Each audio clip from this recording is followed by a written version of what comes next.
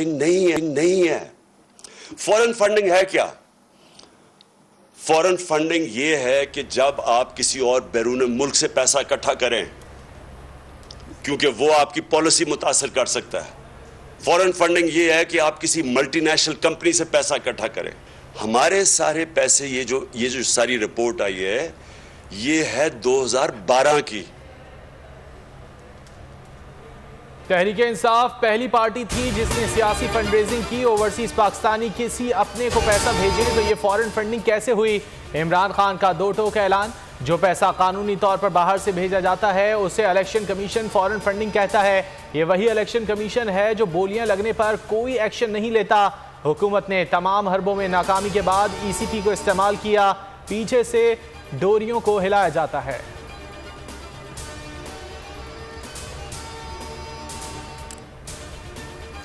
Election commission ने कौमी assembly की नौ खाली शुदा सीटों पर ज़मनी इलेक्शन का शेड्यूल जारी कर दिया। कागजात नामजदगी 10 से 13 अगस्त तक जमा कराए जा सकेंगे। पोलिंग 25 सितंबर को होगी। तहरीक इंसाफ के एम ने तमाम नशस्तों से इस्तीफ़ा दे दिया। ताहम इलेक्शन कमीशन ने सिर्फ़ 11 इस्तीफ़े मंजूर किए।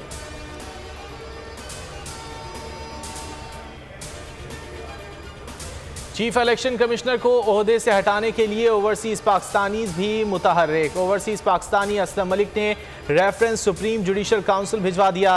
रेफरेंस में चीफ इलेक्शन कमिश्नर मम्बरान को अहदे से हटाने की इस्तः रेफरेंस में मौक़ इख्तियार किया गया कि ओवरसीज पाकिस्तानियों से मुतल इलेक्शन कमीशन का फैसला आइन के खिलाफ है।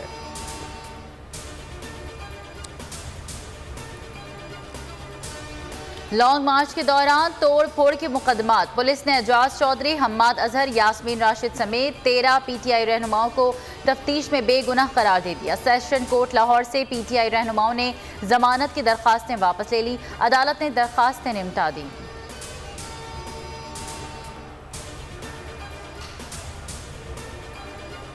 दुनिया में तेल, गंदम और कपास की कीमत कम हो गई है, लेकिन हुकूमत को आवाम के मसाइल में कोई दिलचस्पी नहीं। इकतदार की भूखी तेरह जमातों का जुमा बाज़ार लगा है। सियासी इंतशार और खलफिशार बढ़ रहा है।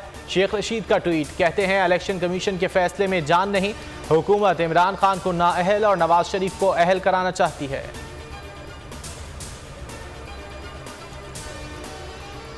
वज़ीर खजाना मिफ्ता इसमाइल ने अवाम पर महँगाई का पहाड़ तोड़ने वाले इकदाम को मुश्किल फैसले करार दे दिया।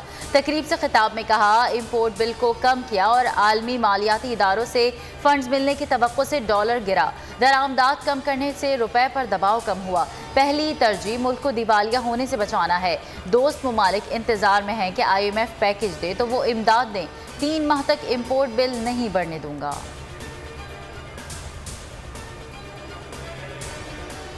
आलमी मंडी में खाम तेल की कीमत में फिर नुमाया कमी। अमरीकी खाम तेल वेस्ट टेक्सास इंटरमीडिएट की कीमत अट्ठासी डॉलर फ़ी बैरल पर आ गई। रूस यूक्रेन जंग के आगाज़ के बाद से ये अमरीकी खाम तेल की कम तरीन कीमत है। बरतानवी खाम तेल ब्रांड की कीमत में भी तीन डॉलर की कमी। फ़ी बैरल कीमत चौरानवे डॉलर फ़ी बैरल हो गई। क्या हुकूमत पाकिस्तानी सार्फिन को रिलीफ देगी?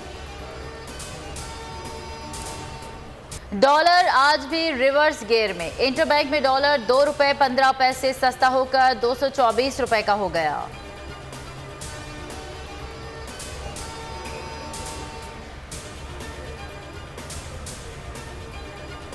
वज़ीर अजम शहबाज शरीफ का जनूबी पंजाब और जनूबी बलूचिस्तान के सैलाब से मुतासर इलाकों का दौरा। डेरा गाजी खान और राजनपुर में briefing. N D M A के मुताबिक मुल्क भर में एक सौ तैंतीस फ़ीसद ज़्यादा बारिशें हुई। बारिशों से मुल्क भर में पाँच सौ उनचास अफराद जाँ बहक छः सौ अट्ठाईस जख्मी हुए। कराची में कल से 9 अगस्त तक और 11 से 15 अगस्त तक बारिश की पेशगोई। सिंध के साथ बलूचिस्तान में भी बरसात मुतव मकबूजा कश्मीर की तारीख का सियाह तरीन दिन, पाँच अगस्त 2019 के गासबाना हथकंडों के खिलाफ मकबूजा वादी में हड़ताल। आज़ाद कश्मीर और पाकिस्तान के मुख्तलिफ़ शहरों में योम इस्तेसाल पर भारत के खिलाफ रैलियाँ। दफ्तर खारजा से भी रैली निकाली गई। भारतीय इकदाम की शदीद मजम्मत।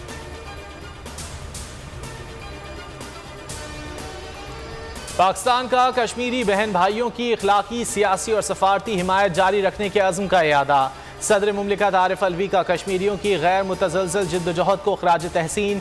कहा, पाकिस्तान हमेशा कश्मीरी आवाम के शाना बशाना खड़ा रहेगा। वज़ीर अजम शहबाज शरीफ का कहना है, भारत हिंदुत्व एजेंडे को बेशर्मी से आगे बढ़ा रहा है। पाकिस्तान कश्मीरी बहन भाइयों की आवाज़ बना रहेगा। वज़ीर अजम आज़ाद कश्मीर सरदार तनवीर इलियास ने कहा, कश्मीरी भारतीय हथकंडों को मुस्तरद करते हैं। कश्मीरी आवाम भारत से आज़ादी हासिल करके रहेंगे। ओ आई सी का भी कश्मीरियों के हक खुदरादियत की हिमायत का ऐलान। मुल्क में 24 घंटे के दौरान कोरोना से मजीद दो अमवात, एक दिन में 750 नए मरीज़ रिपोर्ट। मस्बत केसेस की शरह, तीन आशारिया छः सिफर फ़ीसद रही। एक सौ चौंसठ मरीजों की हालत तशवीशनाक।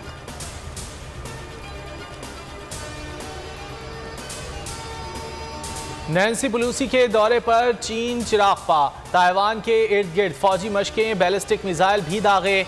अमेरिका की मजम्मत, तर्जुमान व्हाइट हाउस जॉन कर्बी ने कहा, चीन ने अमरीकी स्पीकर के दौरे पर गैर ज़रूरी रद्दमल दिया। चीन आबनाए ताइवान फौजी मशकें रोके, कशीदगी कम करे।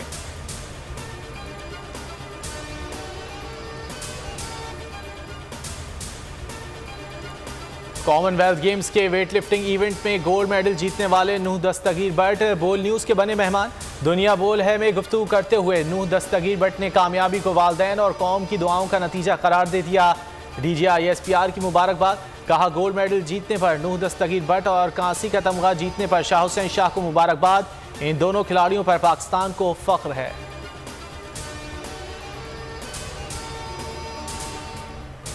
कॉमनवेल्थ गेम्स में पाकिस्तान के मजीद मेडल्स जीतने की उम्मीद बरकरार। रेसलर इनाम बट आज एक्शन में होंगे रेसलिंग के छियासी किलोग्राम कैटेगरी के मुकाबले में।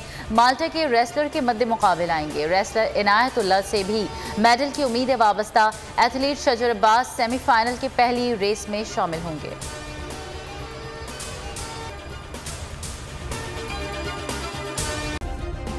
सब्सक्राइब करें और बेल दबाएँ ताकि कोई खबर रह न जाए।